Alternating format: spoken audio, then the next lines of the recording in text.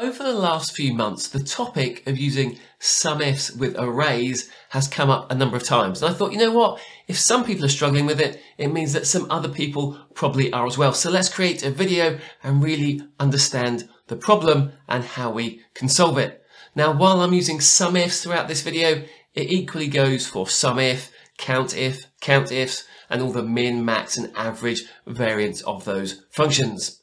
So if you're ready, let's get started. Let's start by working through an example and trying to see what the problem really is. I'm going to start here in cell G3 and I'm going to use the VStack function, VStack. And what I want to do is to stack my data1 table on top of my data2 table. So I can VStack, select my table, data1, comma, and then my second table, data2. I'll close that bracket and press return. So I now have an array which spills into cells G3. So G3 is a spill range. Now if I want to use SUMIFs with this, I can put equals, SUMIFs, open bracket, the range I want to sum is those cells from H3 to H18. I want to sum based on the cells from G3 to G18 and I want the value where it is equal to Bravo. I'll close that bracket and press return and that gives us a value of 148. Now what happens if we add a new item into our data2 table? So I'll enter Bravo with a value of 5000. Our VStack function has updated. We can see Bravo of 5000 at the bottom, but the SUMIFs range has not expanded. Let me undo those additional values. So instead, we might want to use dynamic arrays inside our SUMIFs function. One function we might use for this is choose cols. So if I were to enter equals, choose cols,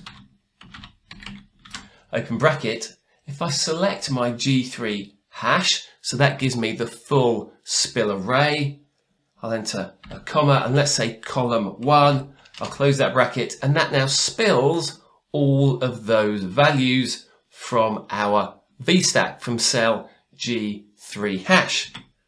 So that means we should be able to go equals SUMIFs, open bracket, choose cols, and we want G3 hash, and then we want to sum the values from column 2. The next argument is the criteria range. So choose cols again, open bracket, G3 hash, and we want it from column 1.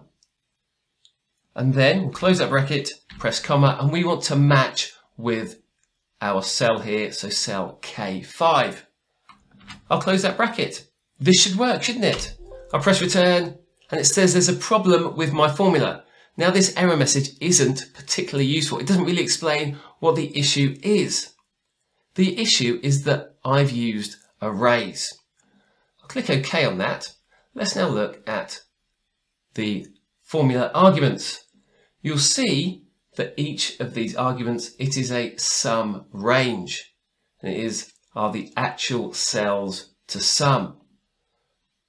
That's the same for the criteria range. It is a range, is the range of cells, which means we can't use dynamic arrays inside a sum ifs function.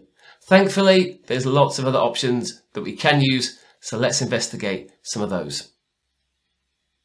There are a number of special functions that when they return values, they don't just return values, they return the ranges for those values. One of those functions is index. So that means that if we use index in the right way, we can use it to create a range. So let's see how we can use index in this scenario. We'll start with equals, SUMIFs, and then open bracket. We're then going to use the index function. So index open bracket. We're going to use G3 hash. Okay, so G3 hash is a range reference. We want all the rows from that reference. So the second argument will be zero. And we just want column two because we just want the values. So we'll enter a 2 in there. The second argument for SUMIFS is the criteria range. Again, we'll use another index on G3 hash. We want all of the rows, and this time it's column 1. And we want to match that where it equals Bravo, so the value in K7. We'll then close that bracket and press return, and this time it calculates a value. If we add a new item onto the bottom of our table, you'll see that our formula now updates. And this is because we have our table that creates an array which then using G3 hash puts that onto the face of our worksheet. So G3 hash is a range. We then use index which returns a range of those values. Now what we can't do is to change G3 hash for VStack because VStack is an array function. So if we use VStack in there and replace that in the second instance of index as well, you'll see that that doesn't return a meaningful value. And that's because VStack takes those tables and changes them into an array. So if we have a range that we're working with, we can use index to pull out the values from a dynamic range. If we want an alternative version that works entirely with dynamic arrays, we can use the filter function and then wrap that inside the sum function. So here in cell L2, I type equals filter, and we want to filter the choose cols of G3 hash, and we want column 2. Then I'll close that bracket.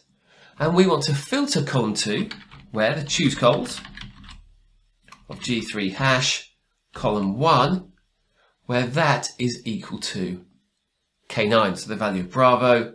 We'll close that bracket that will give us a filter of the results and then we can wrap that in the sum function. So we'll wrap that in sum and that gives us our value. And equally, if we get new values,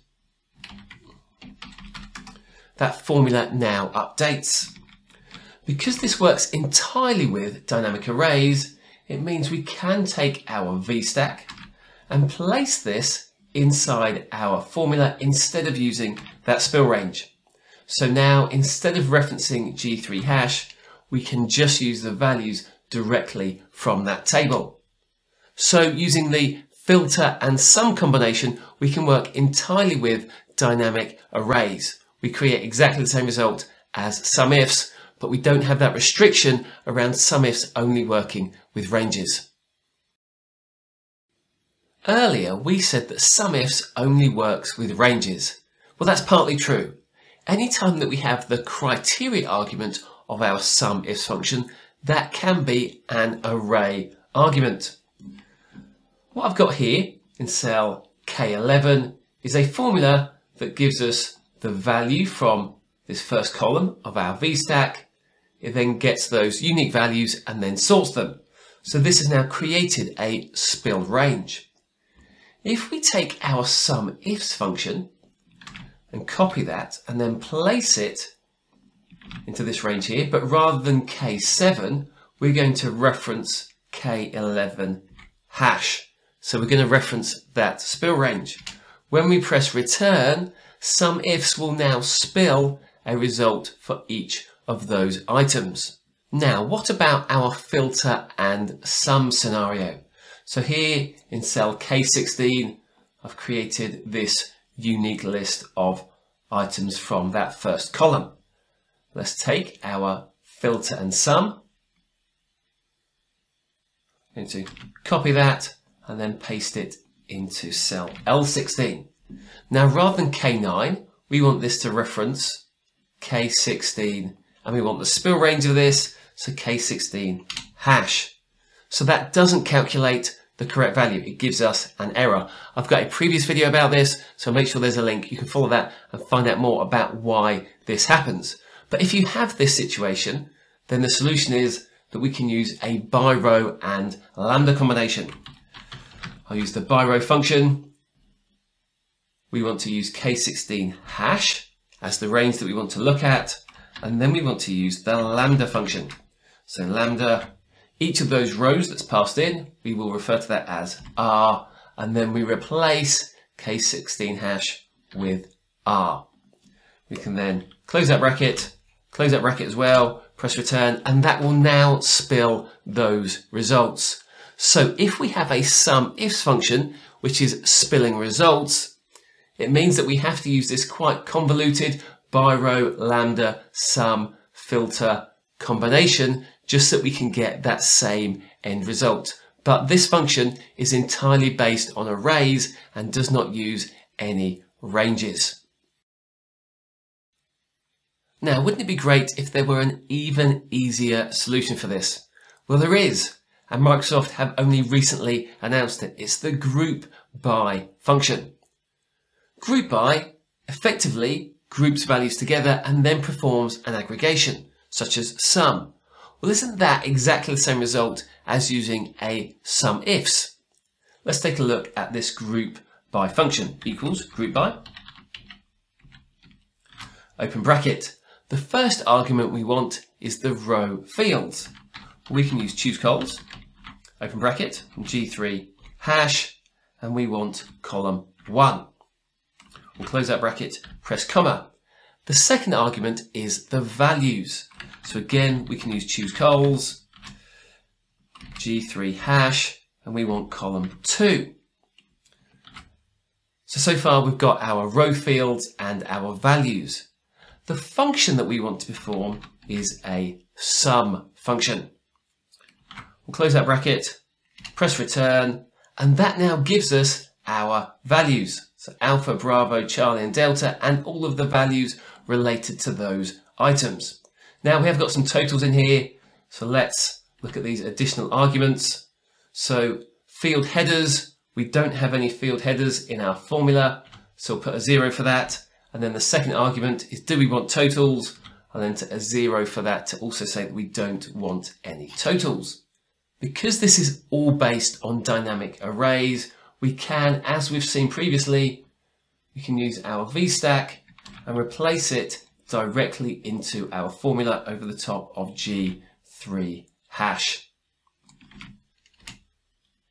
There we go, perfect. Just going straight from our tables into our formulas, performing that sum ifs calculation, but using group by with that sum aggregation. And there you go, that's it. That is how we can perform that sum ifs type calculation using ranges and arrays, possibly replacing with filter and sum. But if you want to spill, we then have this by row and lambda combination, which seems overly complex, but we now have the group by function that gives us a really easy way for us to perform this sum ifs type calculation using arrays. If you like this video, don't forget to subscribe. Thanks for watching and I'll catch you next time.